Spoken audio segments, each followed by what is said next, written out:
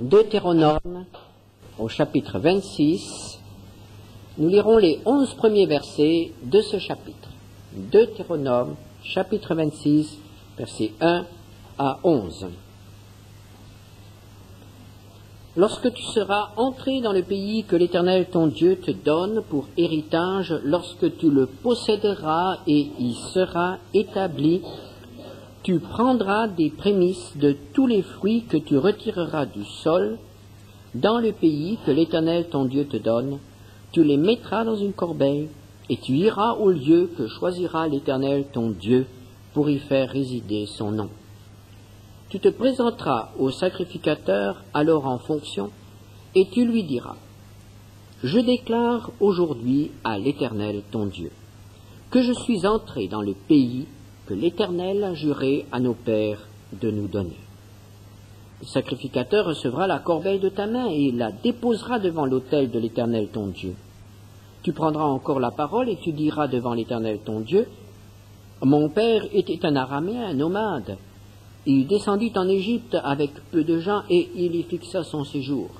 Là, il devint une nation grande, puissante et nombreuse. Les Égyptiens nous maltraitèrent et nous opprimèrent, et ils nous soumirent à une dure servitude. Nous criâmes à l'Éternel, le Dieu de nos pères.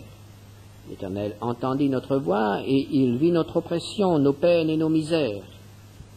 Et l'Éternel nous fit sortir d'Égypte à main forte et à bras étendus avec des prodiges de terreur, avec des signes et des miracles.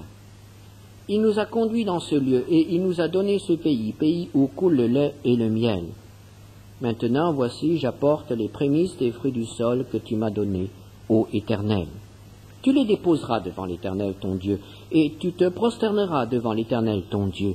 Puis tu te réjouiras avec le Lévite et avec l'étranger qui sera au milieu de toi, pour tous les biens que l'Éternel ton Dieu t'a donnés, à toi et à ta maison. Ce texte nous rapporte l'institution d'une petite cérémonie. Elle n'est pas souvent mentionnée dans la Bible. Nous pourrions l'appeler la cérémonie de la déclaration solennelle de prise de possession. Il s'agit en effet là d'une déclaration. Au verset 3, tu diras, je déclare aujourd'hui à l'Éternel ton Dieu que je suis entré dans le pays l'Éternel a juré à nos pères de nous donner. Voici donc cet homme qui se présente devant Dieu et qui déclare, j'ai pris possession de l'héritage. Je ne suis plus esclave en Égypte je ne suis plus errant dans le désert. Je suis maintenant en Canaan. Je suis entré dans le pays promis. Je suis là où Dieu a voulu que j'aboutisse. Je suis à la place qu'il a préparée d'avance pour moi. Je suis là dans le lieu où il a promis de me conduire. J'ai reçu ce que Dieu avait promis de me donner. J'ai reçu ce que j'ai attendu depuis des années, ce que Dieu avait promis. Je déclare aujourd'hui que je suis entré en possession de mon héritage, en possession de ce que Dieu avait promis de me donner. Je déclare que Dieu a tenu ses promesses. Dieu avait fait des promesses à Abraham. Tes descendants posséderont le pays. Dieu avait fait des promesses à Joseph. Tes eaux remonteront dans le pays que tu as quitté. Dieu a fait des promesses à Moïse. J'ai vu l'affliction de mon peuple. Je vais le faire sortir du pays et je vais le conduire dans un pays où coule le lait et le miel. Et c'est ce qui a eu lieu. Et Josué, avant de se décharger de ses responsabilités de général en chef de l'armée d'Israël, après avoir donné à chacun sa part, il pourra dire, dans Josué 23, verset 14, Voici, je m'en vais maintenant par le chemin de toute la terre. Reconnaissez de tout votre cœur et de toute votre âme qu'aucune de toutes les bonnes paroles prononcées sur vous par l'Éternel votre Dieu n'est restée sans effet. Toutes se sont accomplies pour vous. Aucune n'est restée sans effet. Avez-vous remarqué? Toutes se sont accomplies. Aucune n'est restée sans effet. Voilà encore une déclaration. Dieu a tenu ses promesses. Dieu a tenu toutes ses promesses. Nous avons un Dieu qui tient parole. Ce témoignage, cette déclaration devait être faite à la gloire de Dieu, à la gloire de la fidélité de Dieu. Elle devait être faite dans le lieu que choisira l'Éternel ton Dieu pour y faire résider son nom. Au verset 2. Tu iras au lieu que choisira l'Éternel. C'est-à-dire, cet homme ne pouvait pas faire cette déclaration n'importe où. Il devait se rendre dans un lieu précis. Le lieu qui était connu dans tout le pays comme celui où se trouvait la tente de l'Éternel, le tabernacle qui avait été placé quelque part dans le pays, et c'est là que l'on offrait les sacrifices, c'est là que résidait le souverain sacrificateur, qui était le médiateur entre Dieu et les hommes. C'est dans ce lieu que cet homme devait faire la déclaration de prise de possession de l'héritage. Tu iras dans le lieu que l'Éternel choisira. C'est-à-dire tu iras devant le Seigneur, tu iras devant Dieu, là où Dieu se trouve. Nous sommes évidemment dans l'ancienne alliance. Cet homme devait donc se déplacer, parcourir un long chemin pour aller jusque dans le tabernacle de Dieu, en présence de l'Éternel, pour faire cette déclaration. Et cette déclaration avait un témoin. Le souverain sacrificateur se trouvait là, et il écoutait le témoignage. C'est le témoin humain de la déclaration de cet homme. Devant Dieu, devant un témoin humain. En quelque sorte, c'est une démarche tout à fait officielle. Il déclare devant témoin qu'il a reçu sa part. Le pays devait être partagé. On tirait au sort pour chaque tribu un territoire, et à l'intérieur du territoire de la tribu, chaque famille recevait sa part selon le nombre des membres de la famille, l'importance de la famille, l'héritage était plus ou moins important, selon aussi la richesse du sol, de manière à ce que chacun ait à peu près la même chose en valeur. Et cet homme devait donc venir et déclarer, j'ai reçu ma part.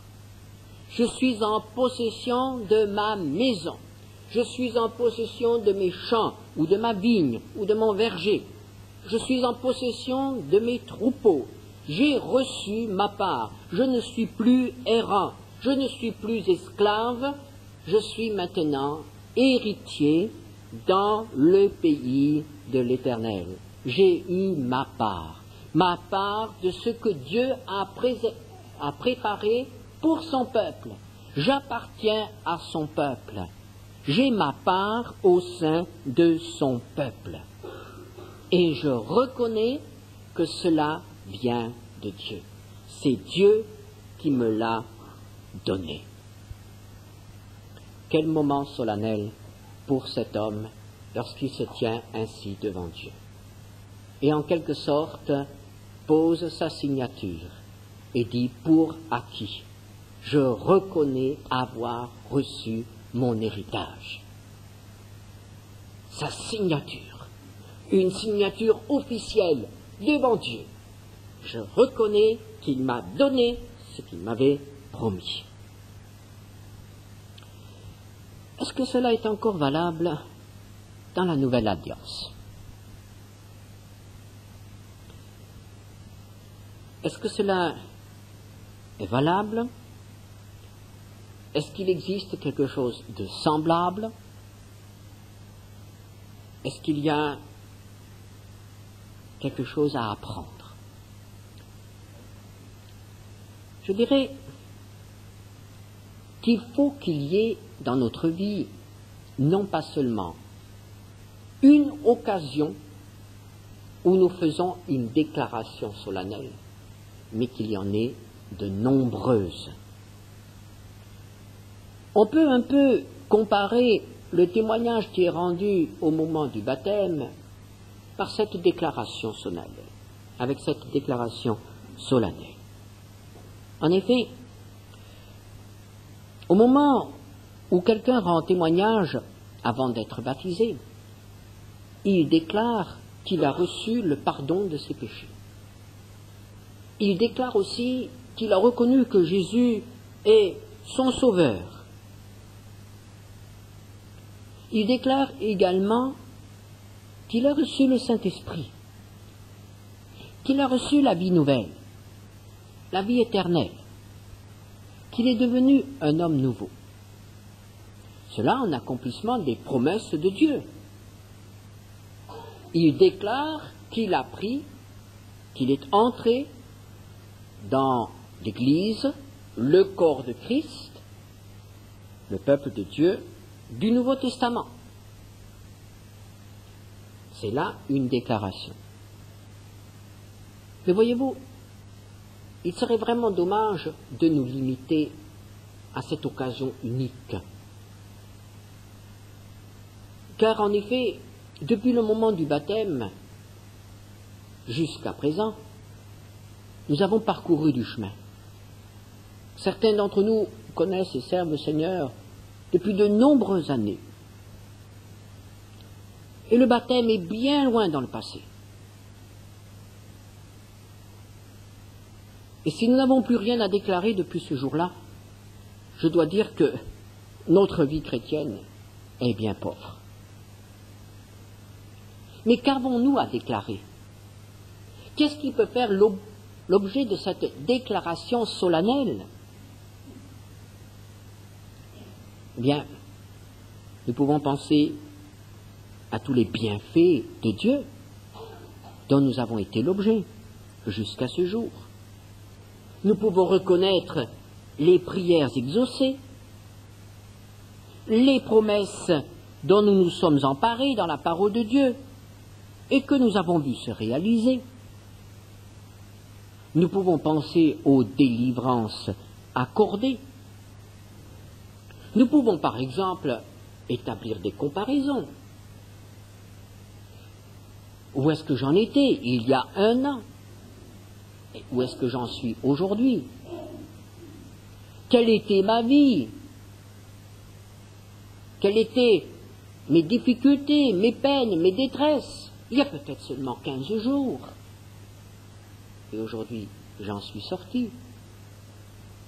Quels étaient mes problèmes, mes angoisses en pensant à l'avenir, en pensant à telle ou telle épreuve, à telle ou telle difficulté qui se présentait, à tel obstacle qui était devant moi. Et voici, il est derrière moi. Si souvent dans notre vie, nous faisons cette expérience. Nous préparons un événement pendant de longues semaines. Nous voyons approcher cette date avec une véritable crainte. Qu'est-ce qui va se passer? Que va-t-il m'arriver? Qu'est-ce que je vais faire? Ô Seigneur, viens à mon secours. Et le moment arrive, le Seigneur vient à notre secours, et nous pouvons nous retourner, l'obstacle est franchi. L'obstacle est franchi. Nous sommes sortis de l'épreuve. Le Seigneur est intervenu, le Seigneur a donné une réponse. Le Seigneur a ouvert une porte. Le Seigneur a fait quelque chose pour nous. Mais la plupart du temps, que se passe-t-il alors? C'est un peu comme dans les montagnes. Quand on a franchi un sommet, on en voit un autre. Et on est aussitôt de nouveau accaparé par cet autre obstacle qui se dresse. Et on prépare de nouveau cet obstacle, on prépare de nouveau cet événement. Et voyez-vous, ce que nous oublions souvent de faire, c'est de dresser, de faire cette déclaration, de dire Seigneur, tu m'as aidé, cet obstacle est franchi. Et si nous nous imposions une fois l'obligation morale de remercier le Seigneur aussi longtemps que nous l'avons prié pour un exaucement, qu'est-ce que cela donnerait? Nous prions pendant des semaines pour quelque chose, et quand nous l'avons obtenu, peut-être que nous ne disons que une fois merci et nous passons à autre chose. Cette déclaration solennelle, pensez à ce qu'il a fait pour nous. Reconnaître ses bienfaits dans notre vie. Reconnaître qu'il nous a sauvés. Reconnaître qu'il nous a fait entrer dans la vie du corps de Christ, dans la plénitude en Christ. Reconnaître tous ses bienfaits, la fidélité à ses promesses, la véracité de sa parole. Reconnaître qu'il est digne de toute confiance. Une déclaration solennelle. Oui, je reconnais. Je reconnais que tu m'as sauvé, que tu m'as conduit et que tu m'as comblé je reconnais que toutes les bonnes paroles que tu as prononcées se sont accomplies. Cette déclaration, dans le texte ici, s'accompagne d'un témoignage. Tout d'abord, un témoignage oral. Versets 5 à 9. Tu prendras encore la parole et tu diras devant l'Éternel ton Dieu. Mon père était un araméen nomade. Il descendit en Égypte avec peu de gens, et il y fixa son séjour. Là, il devint une nation grande, puissante, nombreuse. Les Égyptiens nous maltraitèrent et nous opprimèrent, et ils nous soumirent à une dure servitude. Nous criâmes à l'Éternel, le Dieu de nos pères. L'Éternel entendit notre voix, et il vit notre oppression, nos peines et nos misères. Et l'Éternel nous fit sortir d'Égypte à main forte et à bras étendus, avec des prodiges de terreur, avec des signes et des miracles. Il nous a conduits dans ce lieu et il nous a donné ce pays, pays où coule le lait et le miel. C'est le témoignage de l'œuvre de Dieu dans notre vie, témoignage du chemin parcouru, rappel de l'esclavage passé, rappel de toutes les étapes de la délivrance, tout ce que Dieu a fait pour son peuple. Nous avons ce rappel à plusieurs reprises dans la parole de Dieu. Et cela n'est pas une simple répétition. Cela a un but. Il faut que le peuple de Dieu se souvienne de tout ce que le Seigneur a fait pour lui dans le passé. Et il est bon que nous nous en souvenions aussi de ce que Dieu a fait pour nous, dans le passé. À ce témoignage oral s'ajoute une offrande. Au verset 2, Tu prendras des prémices de tous les fruits que tu retireras du sol dans le pays que l'Éternel ton Dieu te donne, tu les mettras dans une corbeille et tu iras au lieu que choisira l'Éternel ton Dieu pour y faire résider ton nom, son nom. Et au verset 4, le sacrificateur recevra la corbeille, de ta main et la déposera devant l'autel de l'Éternel ton Dieu. Au verset 10. Maintenant, voici, j'apporte les prémices des fruits du sol que tu m'as donnés, ô Éternel. Tu les déposeras devant l'Éternel ton Dieu, et tu te prosterneras devant l'Éternel ton Dieu. Cet homme devait mettre dans une corbeille quelques fruits de son jardin, de son verger, champ ou vigne. Enfin, quelque chose de sa récolte. Le fruit de sa part, le produit de son héritage, de ce que Dieu lui avait donné. Et il a porté cette corbeille et il l'a déposée devant l'autel. L'autel sur lequel brûlait le sacrifice et qui nous parle de la croix du Seigneur Jésus. Est-ce que nous avons aussi une corbeille à apporter? Est-ce que nous avons aussi des fruits à présenter? Oui. Nous connaissons bien le texte de Galates 5, verset 22, qui nous parle du fruit de l'esprit. Galates 5, verset 22. Le fruit de l'esprit, c'est l'amour, la joie, la paix, la patience, la bonté, la bénignité, la fidélité, la douceur, la tempérance. Qu'est-ce que cela signifie? Le fruit que le Saint-Esprit produit en nous, c'est une vie transformée. Une vie profondément différente de ce qu'elle était auparavant. Que pouvait apporter le peuple de Dieu en Égypte.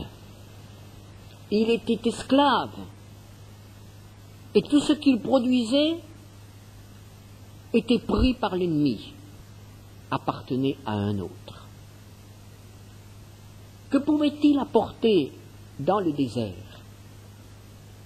Ce qu'il recevait de Dieu, la manne. C'était toujours la même chose. C'était un don de Dieu. Mais c'était le minimum pour subsister dans le désert. Tandis qu'en Canaan, quelle plénitude, quelle variété, quelle richesse. Et tout cela était produit dans son lot, dans la part que l'Éternel lui avait donnée. Et ces fruits témoignaient de ce qu'il avait bien reçu et bien mis en valeur le lot qui lui avait été donné. Ce lot, son héritage, n'était pas resté en friche. Il avait été travaillé. La vigne avait été entretenue. Les vergers également les champs ont été labourés, ensemencés et moissonnés. Il a pris soin de son héritage. Il lui a conservé sa valeur, il l'a mis en valeur. Qu'en est-il de notre jardin? Le jardin que Dieu nous a donné, cette vie nouvelle en Christ, porte-t-il du fruit? Ou l'avons-nous laissé en friche? Y a-t-il des dons que le Seigneur nous a confiés et que nous n'utilisons pas ou que nous n'utilisons plus? Y a-t-il des œuvres que le Seigneur a préparées et que nous avons négligées? Y a-t-il des coins de notre héritage dont nous ne nous sommes plus occupés et qui ne portent pas de fruits? Y a-t-il des domaines dans notre vie qui n'ont pas été sanctifiés qui ne sont pas sous la domination du Saint-Esprit et qui ne peuvent de ce fait porter du fruit à sa gloire. Tout ce que le Seigneur nous a confié, est-ce que nous en avons pris soin? Est-ce que cela rapporte du fruit pour sa gloire?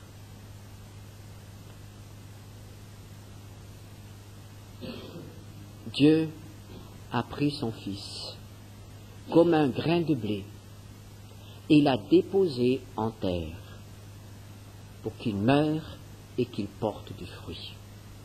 Et l'Église est le fruit de la mort du grain de blé, Jésus. Nous sommes, nous aussi, des fruits de cette mort.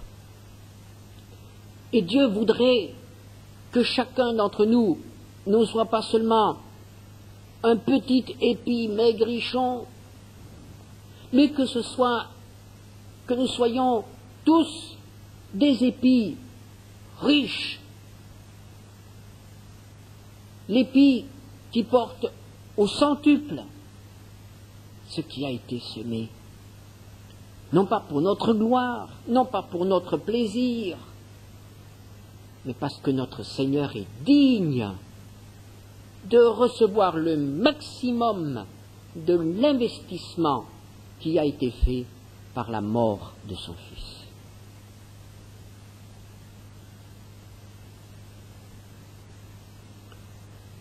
Sommes-nous venus ce matin dans ce lieu avec une corbeille pleine? Ou sommes-nous venus ce matin avec les mains vides, avec le cœur vide, avec des requêtes peut-être, avec des besoins, des insatisfactions, des amertumes et des frustrations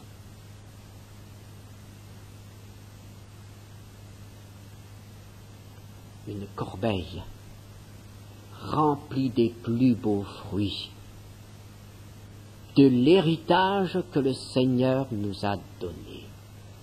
Voici, je déclare que je suis en Canaan, je déclare que je suis sauvé. Et voici, Seigneur, les fruits que tu peux cueillir dans ton jardin.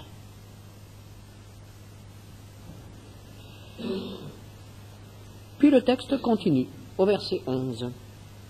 Puis tu te réjouiras avec le Lévite et avec l'étranger qui sera au milieu de toi, pour tous les biens que l'Éternel ton Dieu t'a donnés à toi et à ta maison. Cette démarche débouche dans la joie. Elle devient source de joie. Lorsque cet homme pense à ce que Dieu a fait pour lui, lorsqu'il contemple chaque fruit qui se trouve dans la corbeille, il y a là peut-être une magnifique grappe de raisin, et cela lui fait penser à tout le travail qui a été fait dans la vigne pendant toute une année pour que ce raisin mûrisse. Et voici peut-être une pomme, une poire, une orange, que sais-je, tout ce qui était dans la corbeille, nous ne savons pas. Mais il y a là quelque chose. Et chaque objet rappelle la bonté de Dieu, la fidélité de Dieu. Comment le cœur de cet homme aurait-il pu rester sec?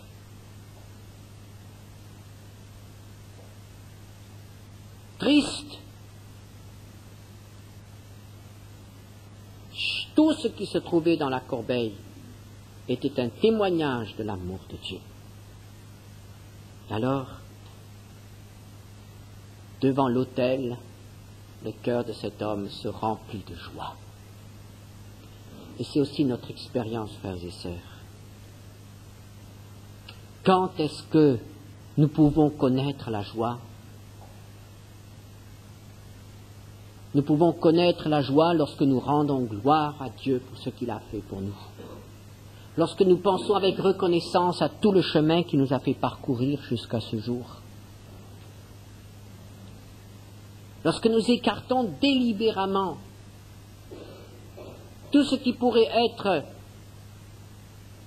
amertume ou grief ou quoi que ce soit, insatisfaction, et lorsque nous bénissons Dieu pour sa fidélité jour après jour. Il nous a conduits jusque-là. Là où il n'y a pas de reconnaissance, il n'y aura pas de joie. il est tout à fait vain de demander au Seigneur de remplir notre cœur de sa joie si nous sommes incapables d'être reconnaissants.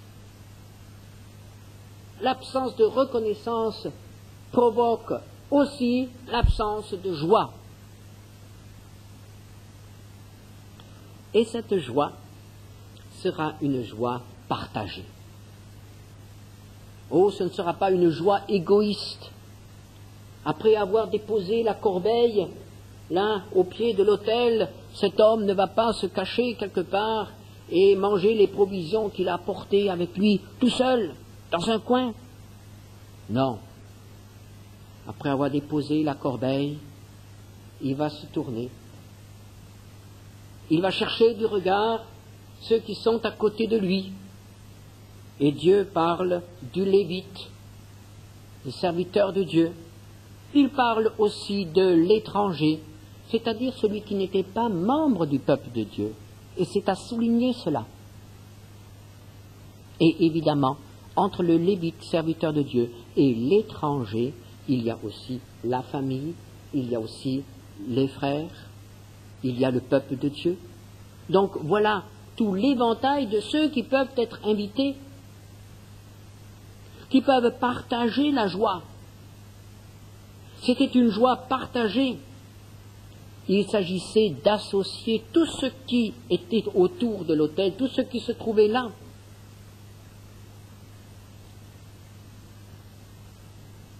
Ainsi nous savions un peu plus associer les autres aux expériences que le Seigneur nous permet de faire si nous savions un peu plus partager nos trésors, vider notre corbeille aussi devant les étrangers, c'est-à-dire ceux qui ne connaissent pas Christ, et faire profiter des bienfaits de l'Éternel dont nous sommes l'objet. La reconnaissance remplit notre cœur. C'était une petite cérémonie, une cérémonie individuelle.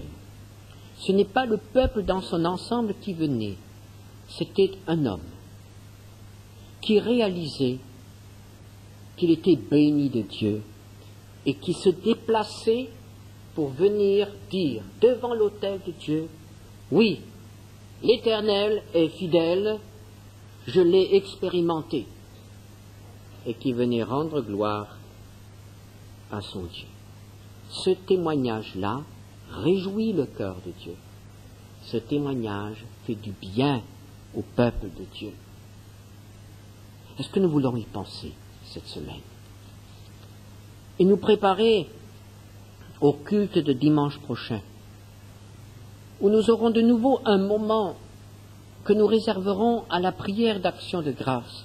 Et pourquoi ne pas faire de cette prière d'action de grâce une petite déclaration solennelle, une petite déclaration dans laquelle nous dirons ce que le Seigneur a fait pour nous, même si nous ne savons pas bien l'exprimer, même si nous sommes jeunes ou si nous sommes âgés, mais une petite déclaration qui réjouira le cœur de l'ensemble, parce que chacun réalisera, oui, Dieu vient de bénir mon frère.